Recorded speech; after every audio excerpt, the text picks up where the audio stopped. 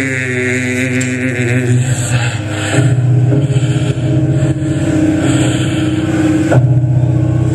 your hand if you like capitalism. Good. We can all be friends.